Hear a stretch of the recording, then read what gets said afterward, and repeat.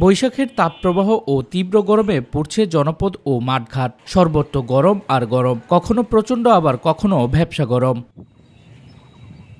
বৈশাখের শুরুতেও দেখা নেই বৃষ্টির। সূর্যের প্রখরতা বৃদ্ধি পাচ্ছে ক্রমান্বয়ে। দুপুর হতে না হতেই সড়ক ও বাজারে কমে যাচ্ছে লোক সমাগম। এতে ব্যবসায়ী ও নিম্নয়ের দিনমজুর মানুষেরা পড়েছেন চরম বিপাকে।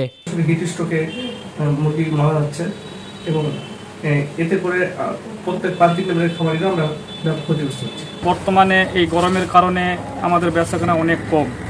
ডিমও প্রায় অনেক ডিম নষ্ট হয়ে যাচ্ছে এতে আমাদের আর্থিক বিভিন্ন রকম ক্ষতি হচ্ছে। অসহনীয় তাপ ও গরমে হাঁসফাঁস অবস্থা মানুষের। একটু স্বস্তি পেতে আশ্রয় নিচ্ছে রাস্তার পাশে গাছের ছায়ায়। খুব গরম।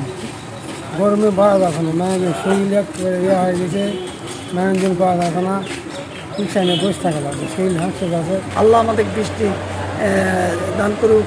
আল্লাহ আবহাওয়া ঠান্ডা করে দেখ আমরা যেন ভালোভাবে চলাফেরা করতে পারি। রোদের তীব্রতা বেশি হয় অসুস্থ হয়ে পড়ছেন অনেকেই। এ অবস্থায় করণীয় বিভিন্ন দিক তুলে ধরলেন জয়পুরহাট স্বাস্থ্য বিভাগের এই কর্মকর্তা।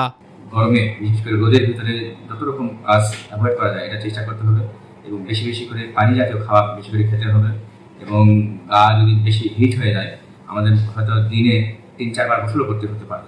এমন পরিস্থিতিতে প্রাকৃতিক বৃষ্টি ও আবহাওয়া পরিবর্তন হলেই জনজীবনে স্বস্তি ফিরবে বলে মনে করছেন এখানকার বাসিন্দারা।